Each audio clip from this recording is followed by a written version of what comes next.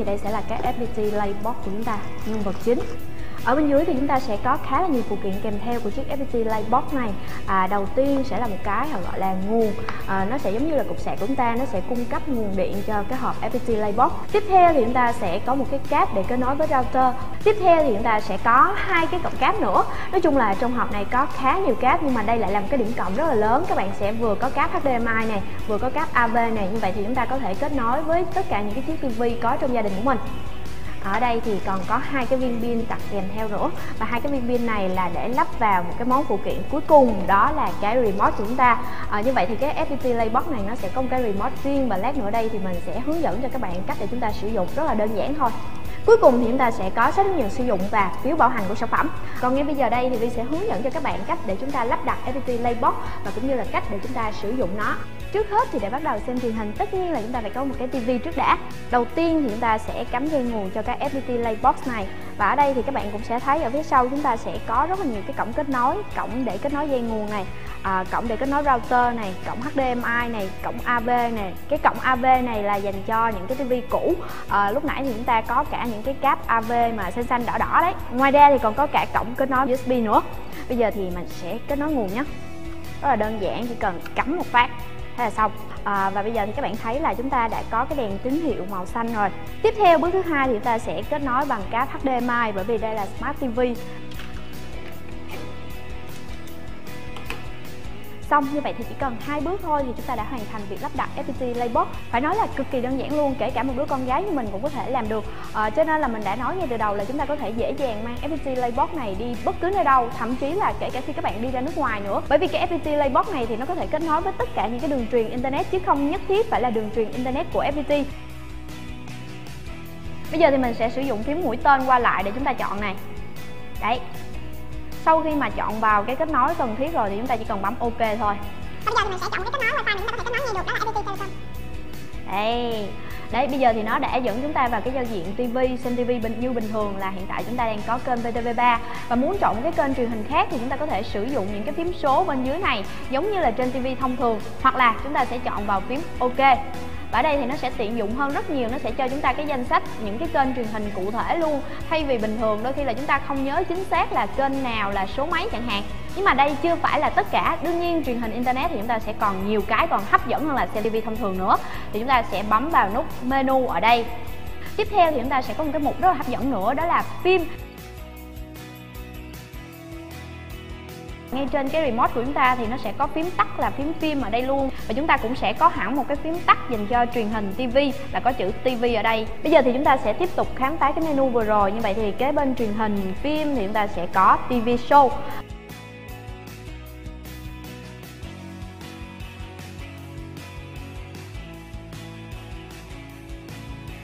Tiếp đến thì chúng ta sẽ quay trở lại menu. Nếu như mà các bạn không thích xem phim, không thích xem TV show Mà bạn là một tín đồ của thể thao Thì chúng ta cũng sẽ có hẳn một cái mục thể thao ở đây.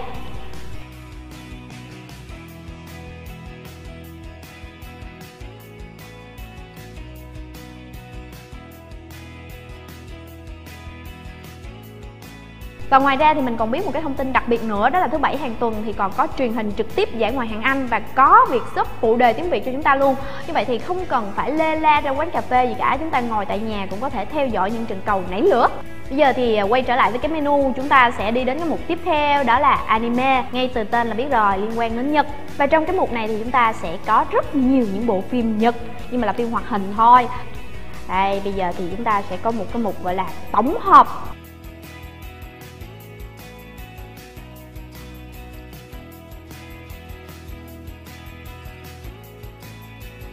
Tiếp theo thì chúng ta sẽ đến một cái mục gọi là đặc biệt nhất của các FPT Laybox này đó là ứng dụng. Như vậy thì trong đây chúng ta sẽ có bốn cái mục nhỏ nữa đó là Movie Finder, nhạc số, ABC Play và YouTube. Cái giao diện của YouTube trên FPT Laybox thì nó cũng sẽ tương tự như là cái YouTube bình thường chúng ta hay sử dụng thôi. À, ABC Lay. Đấy con khủng long rất là dễ thương. Và ngay từ cái giao diện thì cũng hướng đến dành cho trẻ em luôn. Các bạn có thể thấy là từ cái phông chữ này màu sắc cái phối hợp ở trong đây nó đều hướng đến trẻ em, cho nên là giao diện rất là bắt mắt và dễ thương. Quay trở lại, chúng ta sẽ đến một cái mục tiếp theo, nhạc số. Đây là một cái cũng khá là quen thuộc luôn. Chúng ta sẽ nghe nhạc ở chất lượng cao 320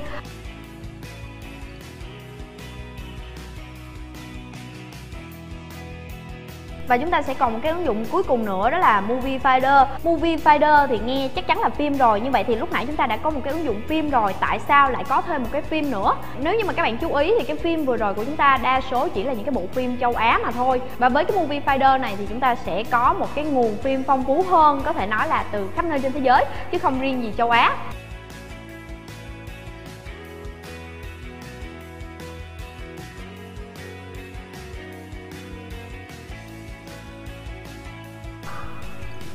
cuối cùng chúng ta sẽ có một cái mục nữa gọi là cài đặt. Để xem bên trong này có gì nhé như vậy thì ở trong đây chúng ta có thể quản lý lại cái kết nối của FPT Laybox chúng ta có thể chọn cái mạng wifi khác này, hoặc là chúng ta có thể chuyển qua sử dụng router. Wow, như vậy thì à, từ nãy đến giờ các bạn có thể thấy là chỉ cần vài phút thôi thì chúng ta đã có thể nắm được cái cách lắp đặt cho đến cách sử dụng FPT Laybox. Mọi thứ đều rất là đơn giản và dễ dàng. Ngoài ra thì còn một cái thông tin hấp dẫn nữa Đó là trong quá trình mà chúng ta sử dụng thì FPT sẽ liên tục cập nhật những cái phiên bản mới một cách tự động Để chúng ta có thể có thêm nhiều cái ứng dụng hay và hấp dẫn hơn nữa. Một ví dụ điển hình đó là trong quý 2 sắp tới đây thì FPT sẽ cập nhật cho chúng ta ứng dụng karaoke Và cả xem lại những cái chương trình TV mà chúng ta yêu thích nhưng lại bỏ lỡ vì một cái lý do nào đó và đến đây rồi, nếu như mà các bạn đã cảm thấy thích cái FPT Laybox này mà muốn sở hữu cho mình một cái thì mình sẽ bật mí thêm cho các bạn một điều nữa, đó là chúng ta chỉ tốn duy nhất khoản tiền để mua FPT Laybox này thôi. Và chúng ta không hề tốn thêm bất kỳ một cái khoản tiền nào khác, cước phí hàng tháng đều không có. Và để biết thêm chi tiết về cái sản phẩm này cũng như là giá bán thì các bạn có thể truy cập ngay đường link bên dưới nhé. Còn bây giờ thì xin được cảm ơn các bạn đã theo dõi video này. Nếu cảm thấy video hữu ích thì đừng quên like và subscribe channel. Xin chào và hẹn gặp lại trong những video lần sau.